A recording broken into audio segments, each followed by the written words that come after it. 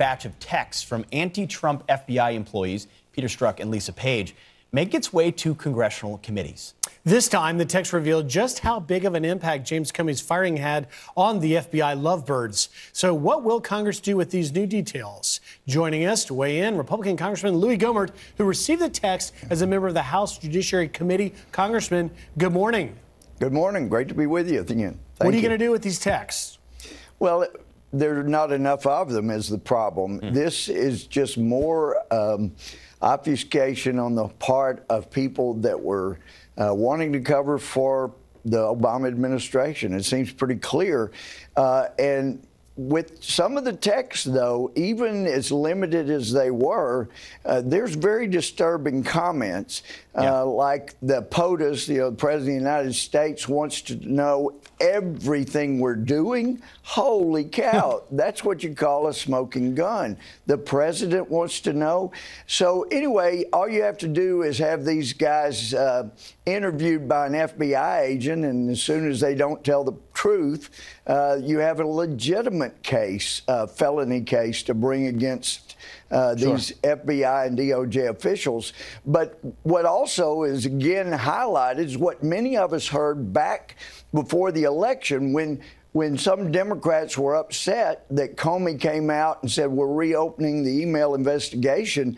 What I was hearing was that Comey had done everything he could to stonewall and that he was sitting on the thousands of emails that had showed up in Weiner's uh, sure. laptop. Mm-hmm. And finally, what we'd heard was there were a couple of FBI agents that said Comey, you either get this out there and reopen the investigation, or we're going to quit. We're going to have a press conference, and we're going to disclose how you have covered up for Hillary Clinton. Sure. So, in that, if that was the case, and it seems like this evidence uh, supports that, because it shows that mm-hmm. actually he knew a full month before he reopened the investigation. Sure. Why did uh, he wait? That's a, it's an yeah. important question. We got to get those answers. Let me we let's, let's uh, show for our audience a couple of those text exchanges between Peter Strzok and Lisa sure. Page that we got from May of 2017.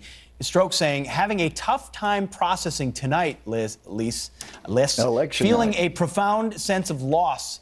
Page says, I feel the same loss. I'm angry, angry, and mounting. So these are, and there's another another one from May 9th of 2017, which where they say we need to open the case we've been waiting on now while Andy is acting. So Andy, of course, Andy McCabe. Uh, uh, right. you know, one more. We'll play one more that came out from May 9th.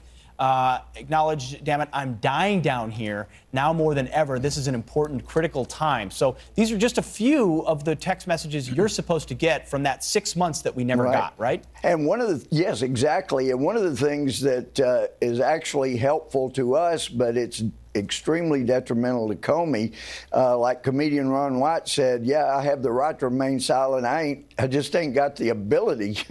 and I think that's where Comey is. He can't shut his mouth, and he's digging himself a deeper hole the more he talks and the more inconsistent he is, which is understandable. We see this many times when authors who write fiction have written a book, they've made up facts, and then they uh, try to remember the exact truth, it's very difficult. And that's what we have here. Comey's yeah. been running around the country promoting mm-hmm. a work of fiction and things that he just made up out of whole cloth. And, and so it's tough for him to remember the real truth now. Congressman, we've got to go. We're out of time. Real quickly, yep. will you commit that the Judiciary Committee will get to the bottom of what was inherent at the FBI? I think the American people are taking away that there was a you, fundamental that's problem. What I, that's what I love about Bob Goodlatte we're not backing down. We are continuing to drive, and they aren't threats. We're either getting them or we're coming after the people that aren't delivering. And there you go. We All shall right. see. Congressman Louie yep. Gohmert, thank you for your time. Thank you, Congressman. Thank you. Appreciate it.